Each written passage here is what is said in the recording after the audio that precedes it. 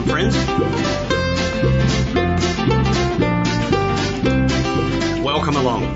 Thank you for joining us. My name is Leon Pittard and I'm the host of Fair Dinkum Radio, broadcasting from the land down under in Australia. From wherever you are listening, welcome. We are Resistance Media, in resistance to the global management program that is being implemented worldwide. Every day I hear our Australian people saying, we want our country back. People who went to fight for our freedoms and liberties, people who know what the enemy looks like, are seeing the same ideas and thoughts being introduced into this great country, Australia.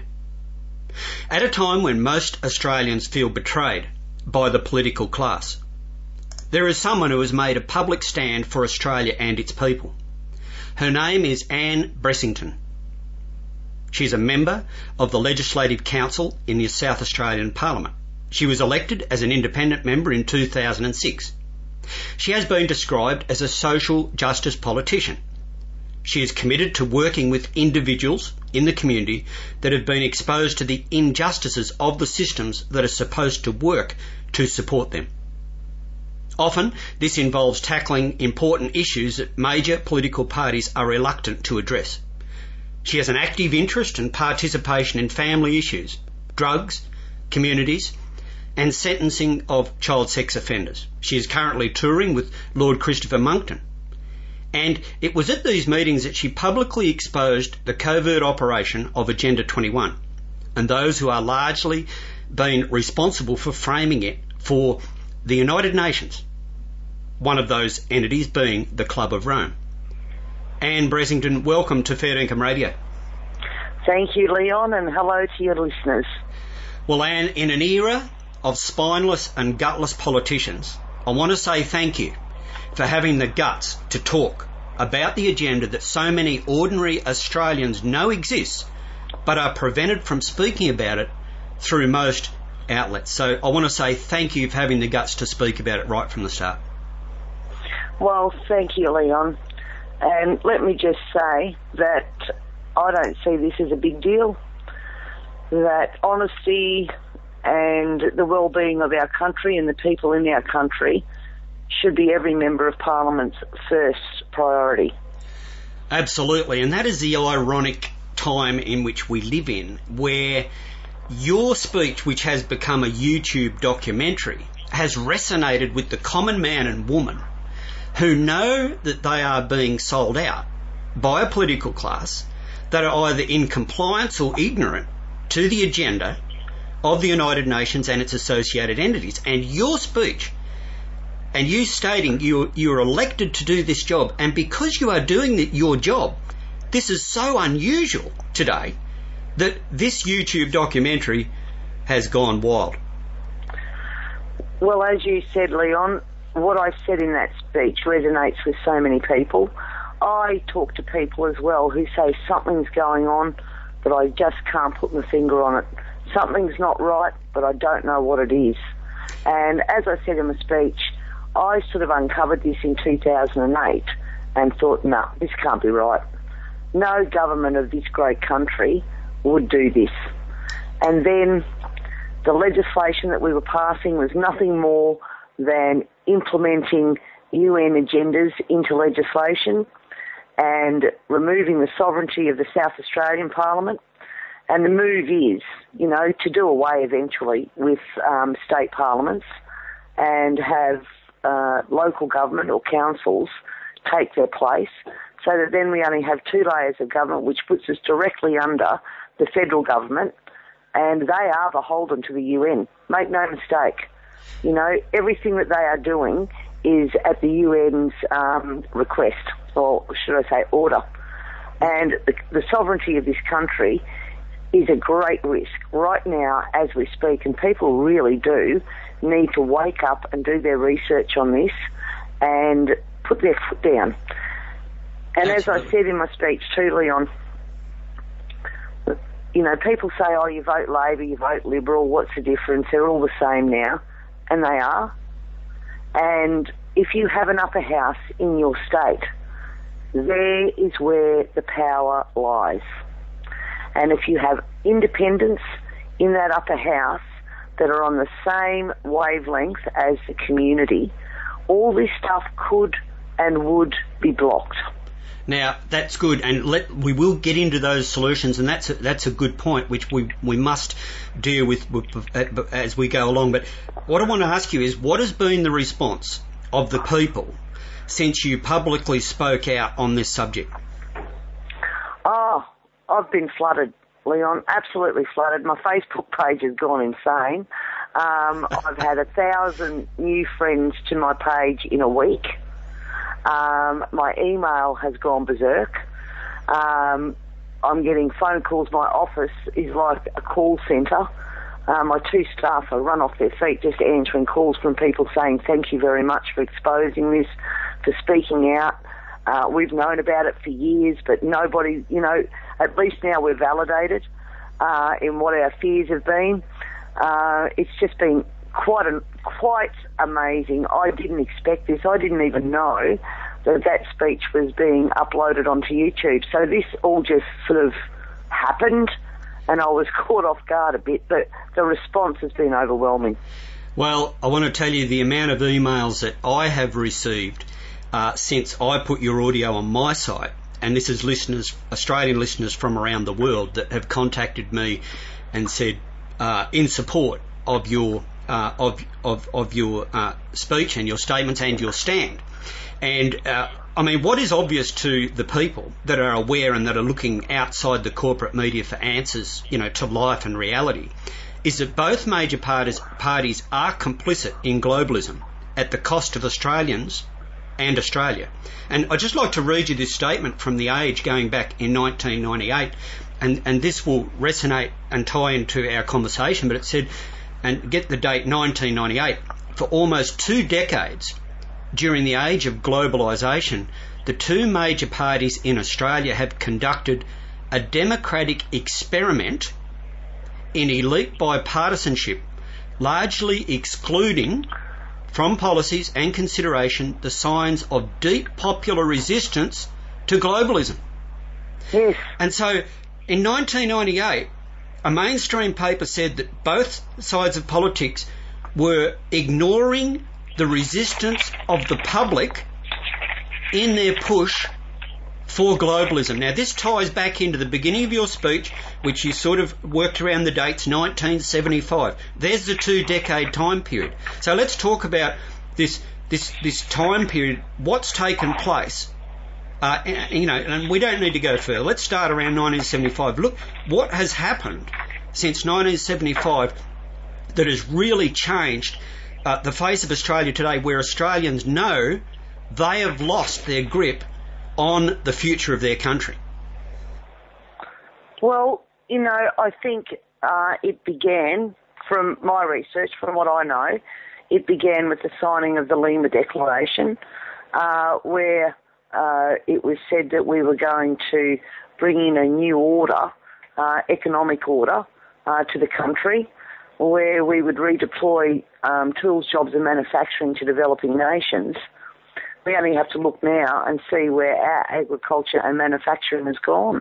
We have about 10 to 13 percent of our um, base, what was our base economic uh, foundation, is just gone. And that declaration was signed by, you know, every major player, every major political player at the time agreed with it. And we've signed hundreds of those um, treaties with the UN since then. Why aren't we told about this? When, you know, who was it? Rudd was going over to sign the Copenhagen Agreement. And our talkback radio host here had him on for an interview. He didn't even know what was in the document. Yep. But he was going to go and sign it. Yep. Exactly. Now, this is a sort of negligence that uh, people have got to say is not good enough anymore. And if we, the people, you know, I want this to be a people's movement. I don't want it to be a political movement. Yes. I want people to stand up and rally together and say, if you're not responsibly governing us, then get the hell out. Exactly. Well, I, I had a, uh, a gentleman ring me on the phone on, the, on my open line here a little while ago, and he was wanting to um, start a political party or you know get involved in politics. And I, I said to him, I said, "Well, what's your position on the United Nations?"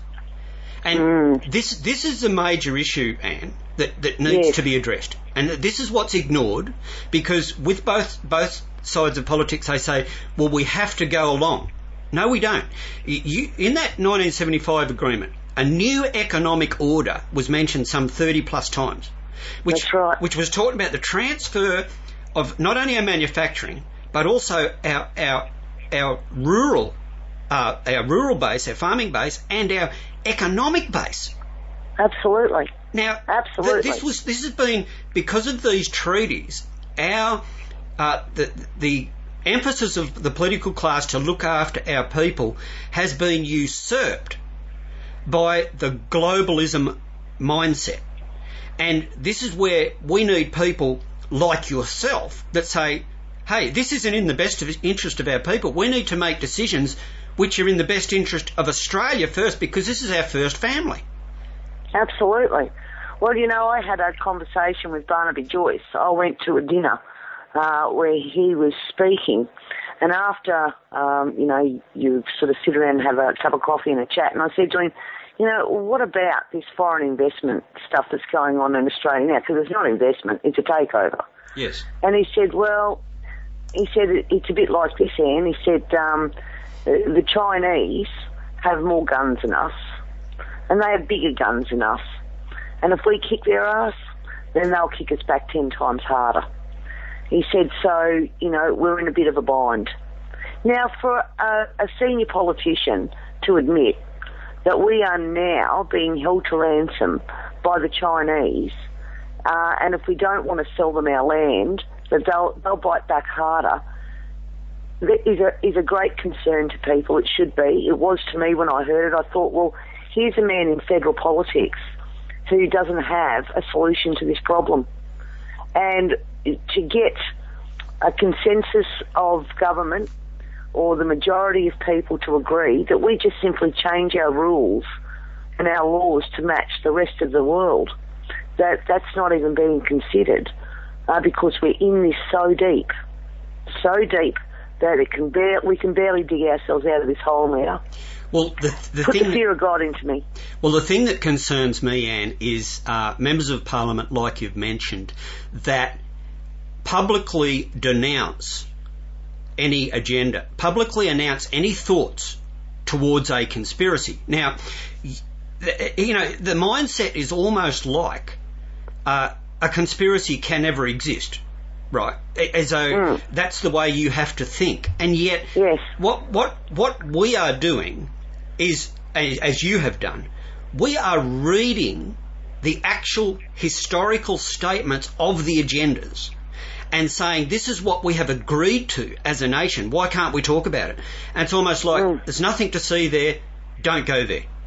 Yep, absolutely. And I, I've I've been quite blown away because I've only been in Parliament a short time.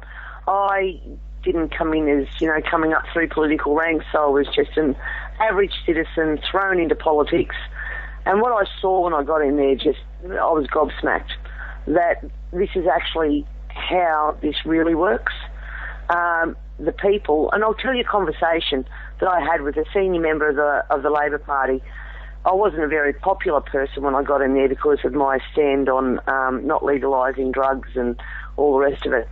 And he said to me, you know, what do you think you're going to achieve in here in the next eight years? I said, well, gee whiz, I don't know really.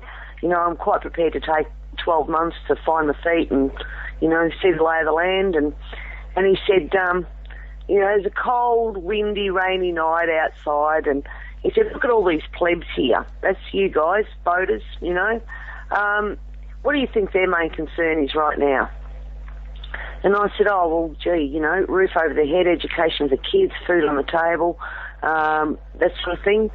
And he said, well, no. He said their main concern right now is whether they're going to get the six o'clock train home tonight and have time to have a beer before they sit down and watch television. hmm And I said, well, gee, as a newly elevated pleb, I find that very hard to believe. because they certainly that certainly wasn't my priority.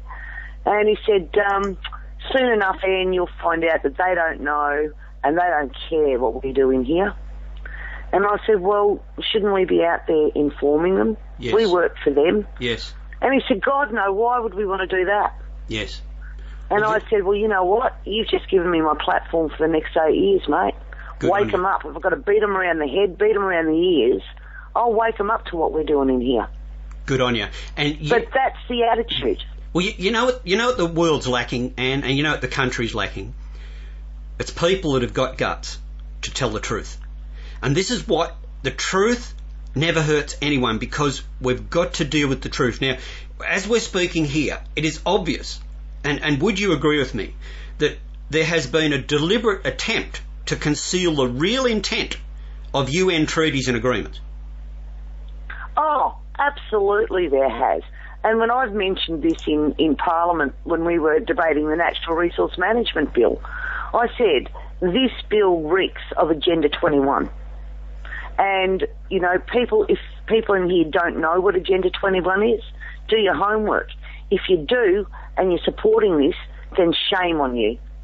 Shame on you for even considering putting these sorts of regulations and restrictions on our farmers.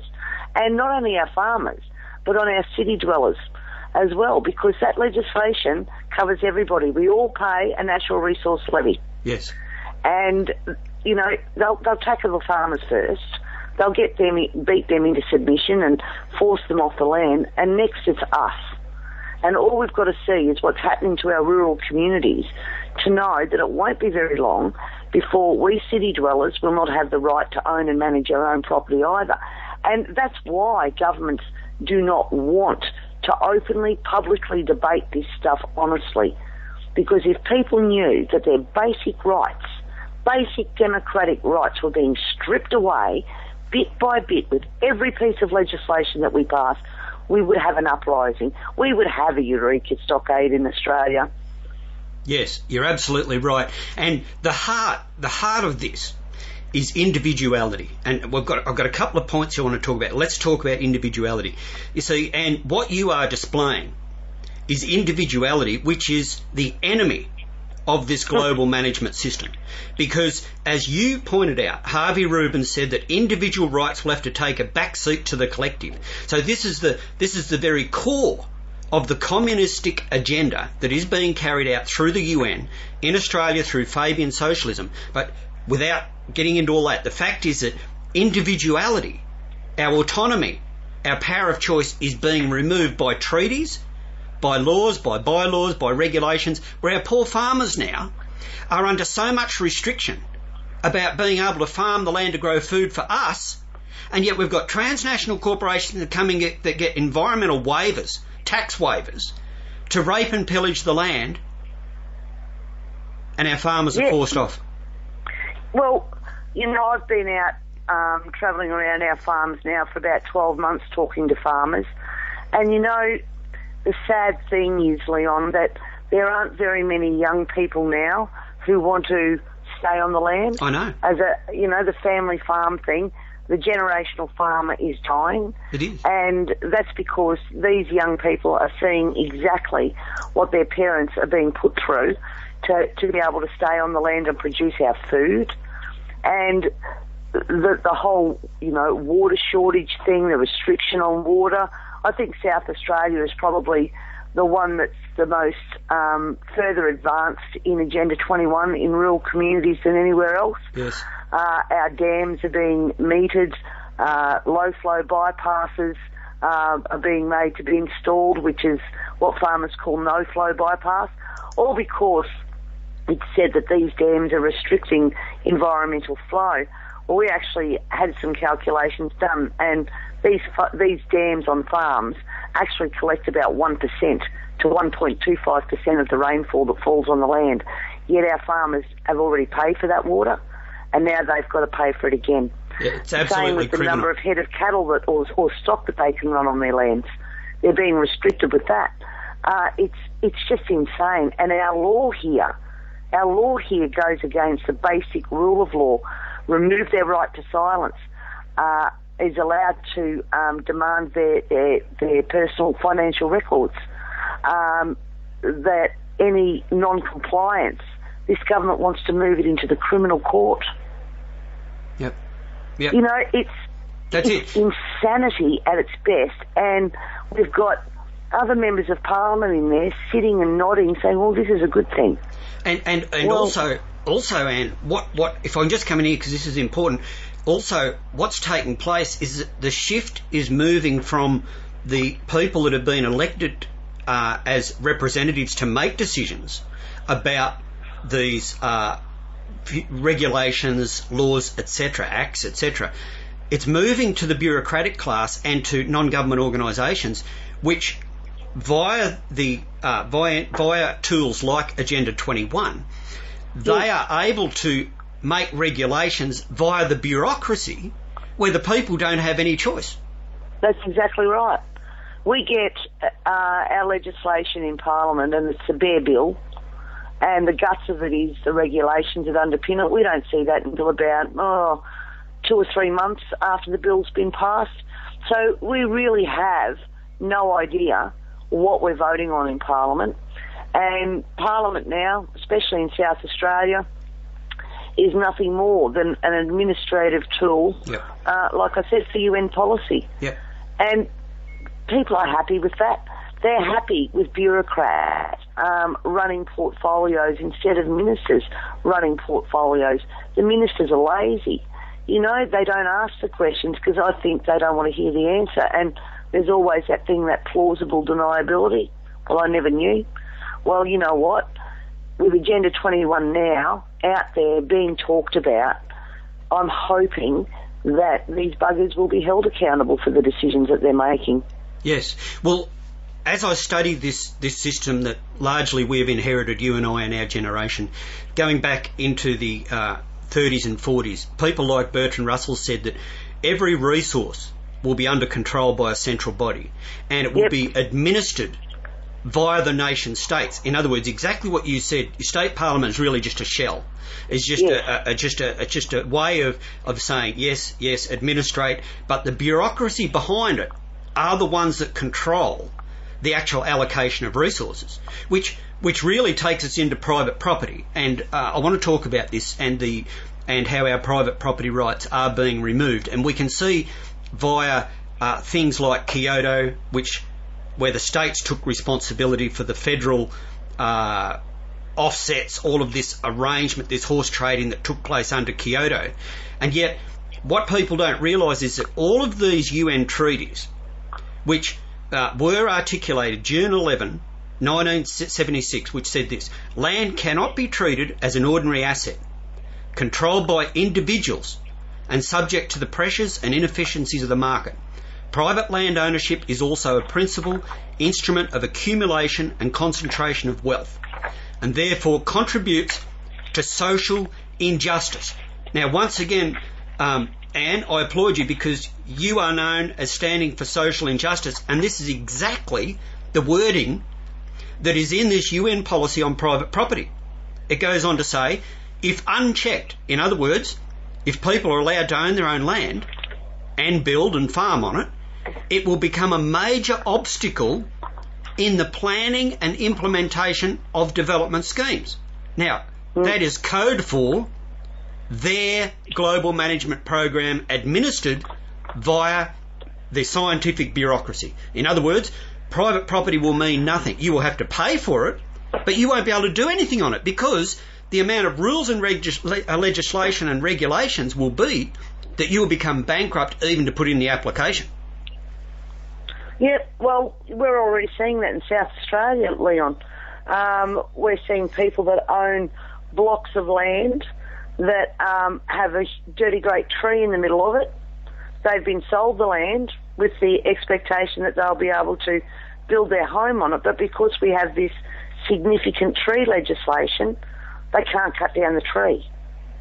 So they now have a block of land that they've paid maybe $100,000 for that they can't build on. Yep.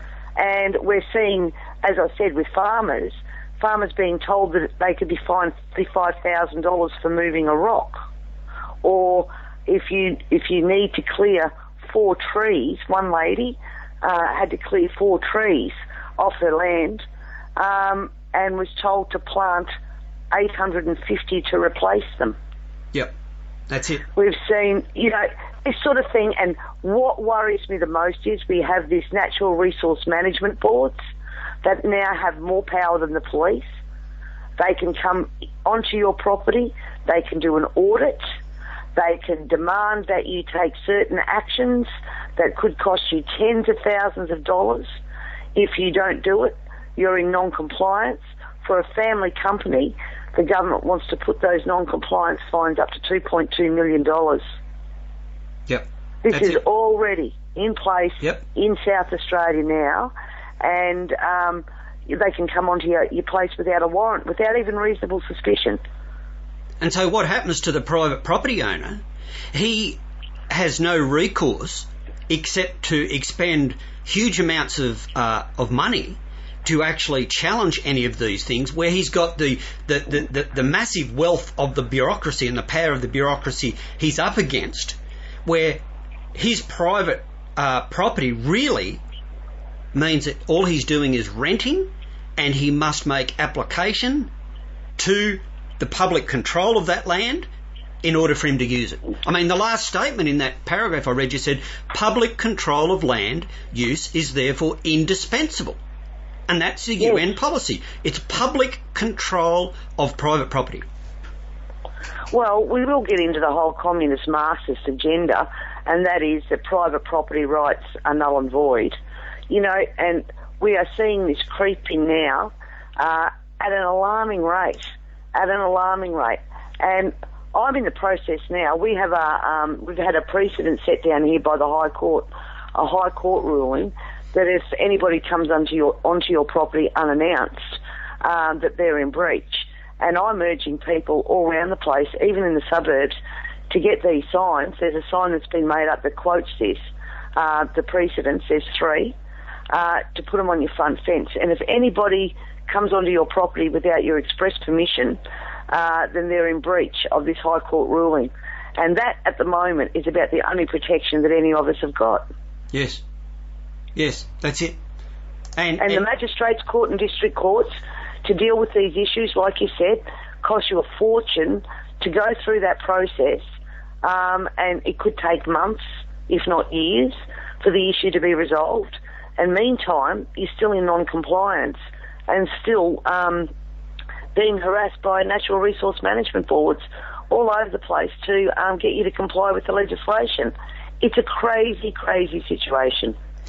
Look, I talk with, uh, you know, like you do, I talk with our people every week, and I've got fishermen ringing me uh, that have been subject to the massive marine parks that have Oh. uh, been, you know, legislated in this country.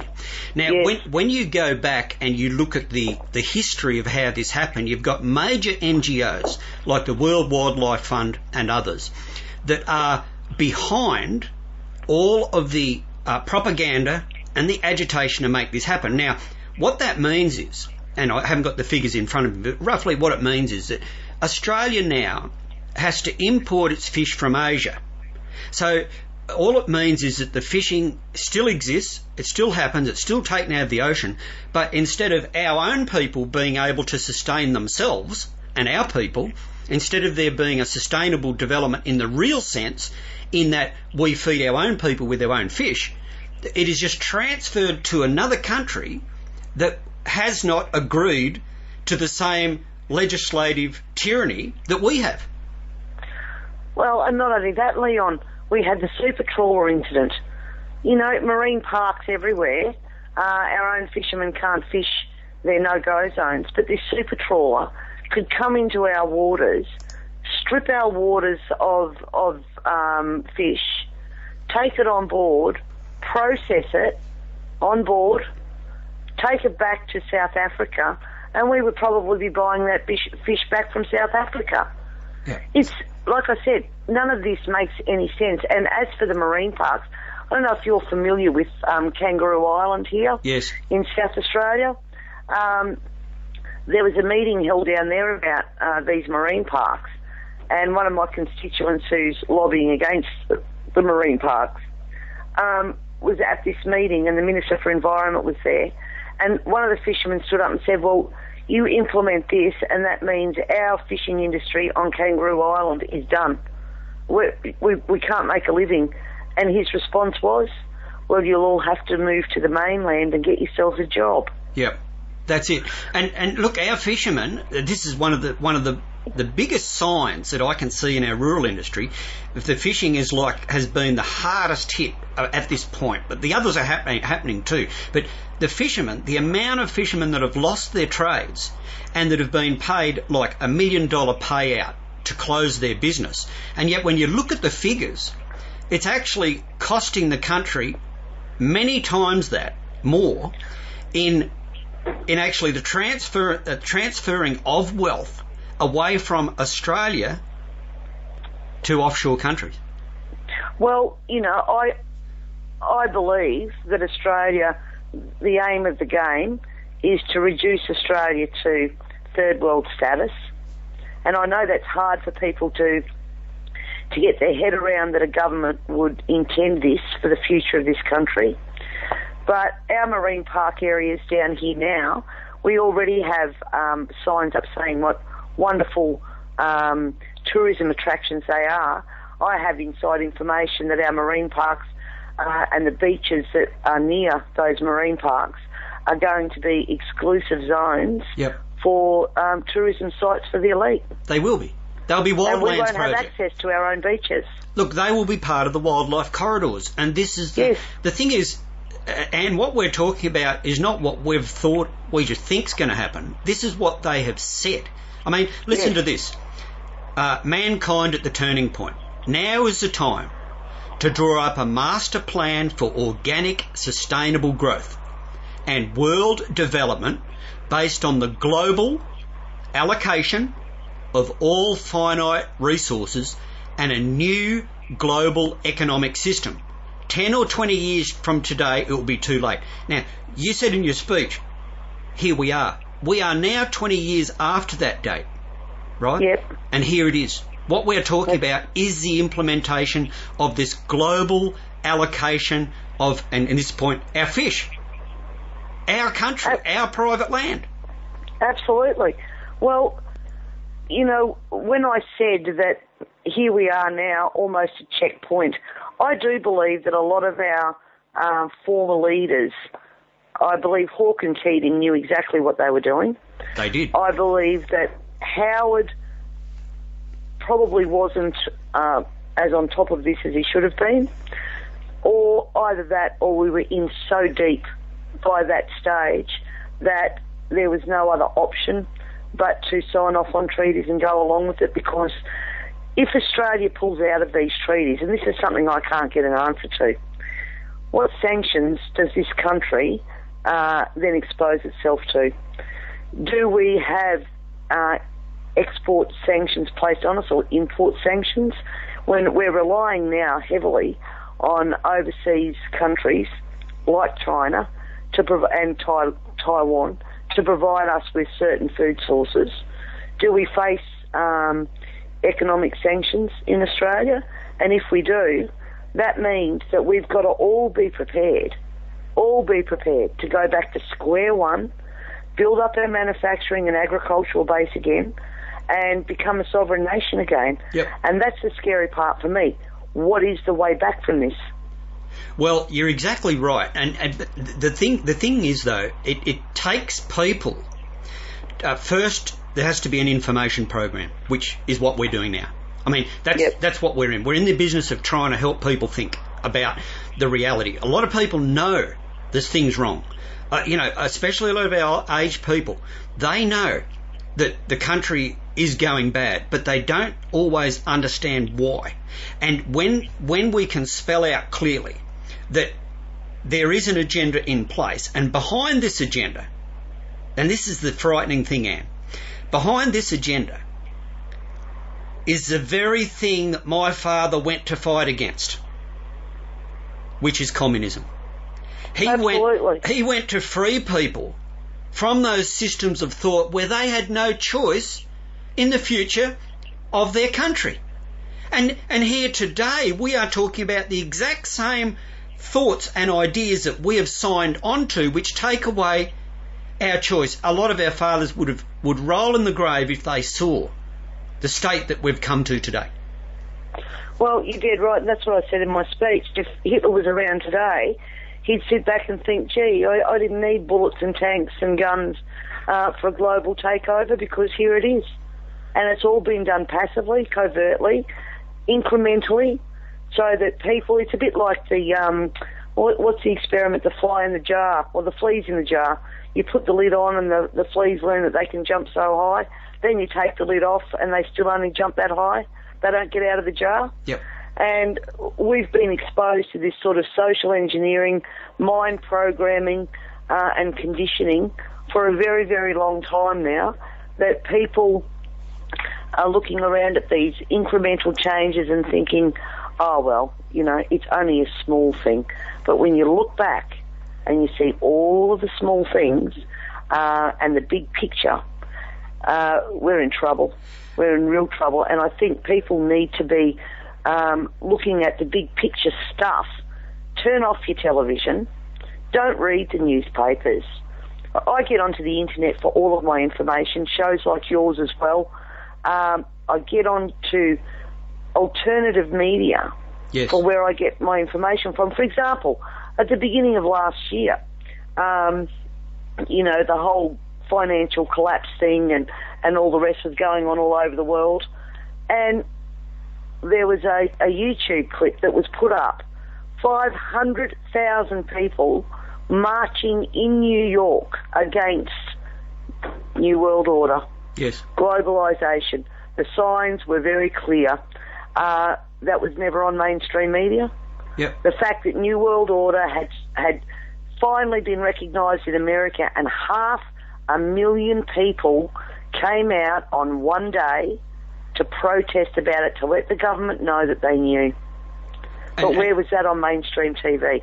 We heard about Britney Spears going and getting drunk, or exactly. you know, all of that that gossip, new um, movie star stuff that dulls your mind and, and kills your brain. But the real stuff, you want to find it. I go to YouTube, like I said, shows like yours I listen to. Brian Wilshire on 2GB. Um, he's been on top of this for years. Uh, that's where people have to switch. Yep.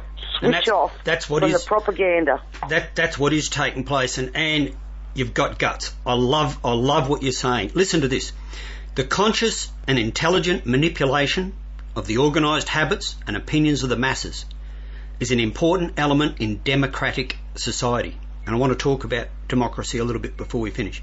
Those sure. who manipulate this unseen mechanism of society constitute an invisible government, which is the true ruling power of our country.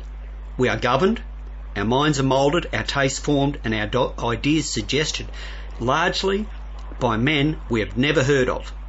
This is a logical result of the way in which our democratic society is organised.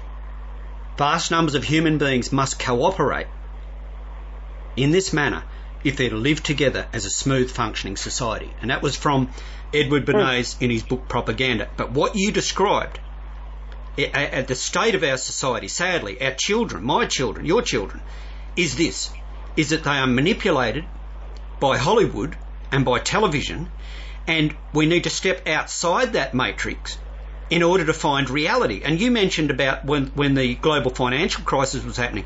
Where have we read in the mainstream press about the very people that orchestrated that and the billions of dollars in bonuses they got collectively after all that happened.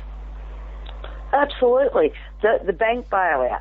You know, it would have cost the American government far less to actually bail out the people who were losing their houses, pay the debts. It would have cost them far less to do that than it would have to um, bail out the banks. This was all contrived we all, oh well, I don't know if we all know, but I know, I certainly know uh, of the part that George Soros plays in most of these financial collapses. He's been doing it for years, um, pulling out um, fluid, fluid um, money out of out of economies and leaving them bankrupt. George Soros is um, a Bilderberg. He is uh, one of the, the the group of elite who believe in depopulation. And if you note the global financial crisis, who did it hit the hardest? Working class Absolutely. America, Yep. working class Australia, um, self-funded retirees lost their money, uh, superannuation down the tubes. Um, none of the people at the top actually suffered from the global financial crisis at all. And I still believe, you know, call me a conspiracy theorist, that that whole thing was timed and contrived. Absolutely. I know Abraham, I think it was Abraham Lincoln who said, there are no accidents in politics. If it happens, you can bet your dollar it was planned. Exactly. Now, I want to talk about another point here and get your your um, take on it. Carroll Quigley was a historian of the Council of Foreign Relations and other uh, major foundations and think tanks, and he wrote this: "The powers of financial capitalism had another far-reaching aim, and and these people we're talking about." Soros and the world bankers, that's, that's what he's talking about, the financial capitalism. Yep. Nothing less than to create a world system of financial control in private hands, able to dominate the political system of each country and the economy of the world as a whole. Now, this is a point specifically I want to refer to something in Australia. This system was to be controlled in a feudalistic fashion by the central banks of the world, acting in concert by secret agreements arrived at in frequent private meetings and conferences. Now, mm. I want to speak about something that's happened in Australia federally, and I know that you're involved in state politics, but we want to have a look at the big picture. The Prime Minister of this country had secret agreements with three major transnational corporations Rio Tinto, um, BHP, and Xstrata. In that secret agreement, they come to an agreement about the mining tax, which today we, the people, don't know what happened. Mm. Now, all I'm trying to say here is that the science of the way this system was to be developed is happening before our eyes, and if we recognise it, we will see that it is being implemented right now in our country. Well, I think that's that's pretty obvious to people. I'll, I'll, I'll go on a small level. You're obviously much more uh, informed on on you know the federal federal stage than I am. I'm busy at state level. That's enough for me. But let me just look at, at or point out what we're doing with our young people. We're encouraging them to take out loans on houses that they can't afford. We're offering them the first home buyers grant, and then everybody else puts their prices up accordingly, so there is no gain there. They're being lulled into this um, situation of absolute, um, absolute debt, and then they live on credit, which only compounds that, that situation. And we will see in this country, I believe, in a few years' time, uh, foreclosures because our banks uh, will claim that they're in trouble, and we will see a run on the banks, and all of those people, same as what happened in America, the bubble's got to burst, and we will see hundreds of thousands of people foreclosed on because they can't pay up their debt within a certain period of time, and we are lulled into this, uh, you know, get it and get it now, and uh, our young people are being brought up on a system of credit, and you know that will be the financial collapse of this country. Yep. I do believe. Yep. With everything else that the government, the federal government's doing via you know big bad taxes and the carbon tax and and all the rest of it, um, we're doing ourselves in by buying, excuse my language, the bullshit that you've got to have everything and you've got to have it straight away. Yeah. And that's You're right. another mo- another form of mind control conditioning programming that um, you know you don't have to work for a lifetime and end up in your your latter years comfortable. You've got to be comfortable straight away. Yeah. And it all ties in together. I think there's probably about five or six approaches um, to indebting us and enslaving us to the financial system in play as we speak. You're absolutely right. And the economic uh, debt slavery cycle is, is a very important uh, arm of this octopus. But And what I really want to get to um, is solutions. Um, we uh, we both acknowledge that uh, there is there is an entrenched uh, ideology throughout the bureaucracy and the political class, which uh, really is not in the best interest of Australians and Australian people. We have a situation coming up where a push for local government to be recognised, and you did touch uh, on this, uh, being the dissolution of the states. Uh, yes. I'd like you to just speak a little bit to this and what your thoughts are with this this drive to uh, make local governments uh, recognised in our constitution after two referendums voting it down. Well, first of all, we've got this uh, is it select committee, uh, select committee, federal select committee that's taking submissions on this, which in itself is um, going to undermine the whole referendum process. I believe that if they get enough submissions in favour of this, uh, that uh, the whole the whole idea of a referendum will be done away with because neither of the major parties, and they've said this in the South Australian Parliament, believe that the citizens are well informed enough for us to have referendums. Uh, that this is a way of bypassing that process. Agenda 21, we know, is rolled out at the local government level. We have had a process over probably the last 25 years where our parliaments have been um, uh, ridiculed by the media, where politicians have been fair game, and it's all about that disillusionment of state government that we're overgoverned, that these these bastards get way too much money for what they do.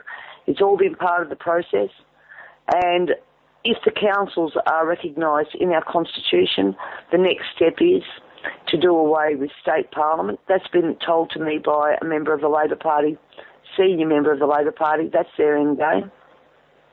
That means that we will be governed at a local level by council who has all the power to implement all of Agenda 21 in its entirety.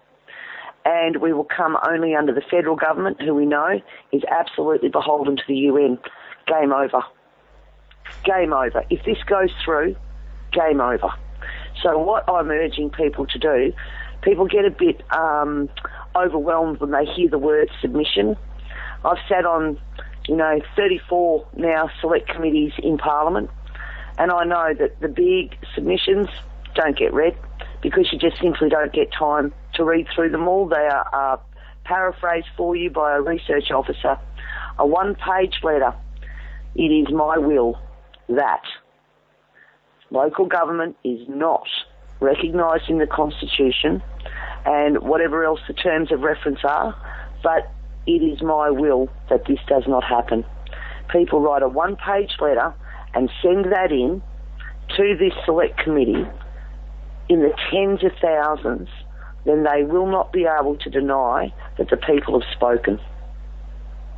Absolutely, and, as we're talking about solutions, I mean this is the the most urgent uh, the, the most urgent thing that we need to address now.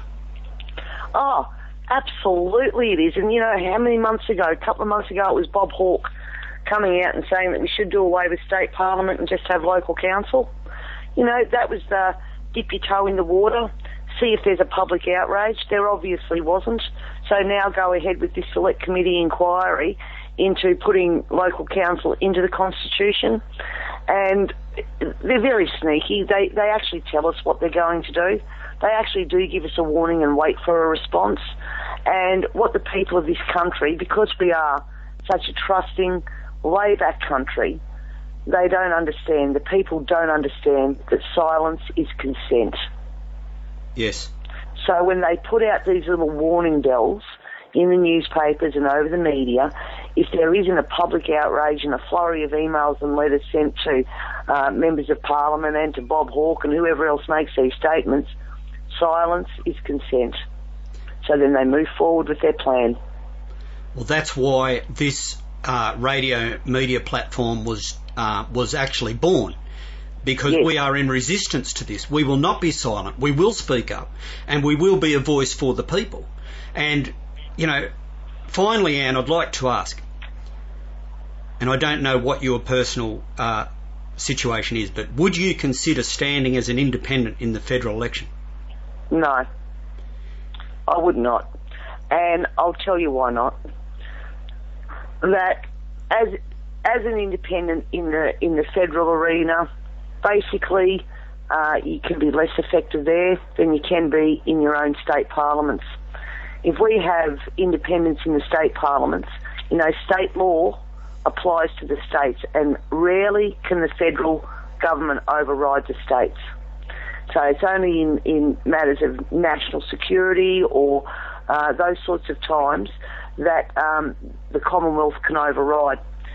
So I believe that independents, true independents, not Labor lackeys, uh, passing themselves off as independents um, or Liberal lackeys, that we can make a difference in each state parliament and we can block uh, the legislation, we can, um, you know, put it into conference, uh, we can put it into committees to have it reviewed and get uh, opinions on that legislation from uh, organisations outside of the government. And we have to do this state by state. At the moment, we've got the Greens that are dominating the Senate in the federal federal arena, and we have a very powerful lobby group behind the Greens that is making that um, almost an impenetrable barrier, and we can't allow that to happen at a state level as well. So I don't have a lot of faith uh, in in the, the federal system being able to turn, be turned around as quickly Yes. as we could turn the states around. Yeah, so you're, you're, you would encourage others who may uh, like to stand as an independent state, you would say that would be a good angle of resistance with the system the way we have it today. and to stand in the upper houses of each state. I know Queensland doesn't have an upper house, which I find quite disturbing, uh, but for every other state that has an upper house, that that's where the power lies. As I said at the beginning of this, we have people who are um, trying to run for electorate seats. Um, you know, to, to form part of the lower house or House of Assembly, whatever it's called in any, every other state. Whereas in that in that lower house, they are obviously deemed quite irrelevant unless you have a hung parliament. And yet in the upper house, if you had a majority of independents in the upper house, then that is where legislation is blocked. Governments can pass whatever legislation they like in the lower house. You know, they can do their worst. But if it can't get through the upper house, then it doesn't matter what they try and put forward. It won't get through. And it will be stalled. But what we have in South Australia, we have um, seven Labor, seven Liberal, seven Independents and crossbenchers. So it's, you know, 21. And, but when Labor and Liberal want to push legislation through, which they've done last year, which made me shudder, um, all they do is agree and come together and they've got 14 uh, votes. We only need 11 to get legislation through. So what I'm saying to people in South Australia is we need to take away at least four or five seats from the major parties so that when they come together, they don't have the numbers. Well, Ann, uh, we we just want to say once again, uh, thank you uh, for your public stand for our people and for our country. Uh, we appreciate your time, and I look forward to speaking with you again into the future, and maybe we can get into some other issues that we didn't have time to touch on today. Love it. Love to do it, Leon. Love to do it. G'day, folks. It's Fair Dinkum Leon here. I'm the host of Fair Dinkum Radio. We are resistance media of the people, for the people. We document that there is a conspiracy and an agenda to destroy our national identity, our economic independence, the institution of the family, and our independence as a nation. We are at war with forces within government that are intent on destroying our independence and sovereignty as individuals and as a nation. I appeal to you, my fellow Australians, to stand with me as we broadcast in resistance to this agenda. Please support us by sharing this website with family and friends and subscribing to help us continue to be a credible voice of the people for the people. Thank you, friends. Stay tuned and maintain resistance.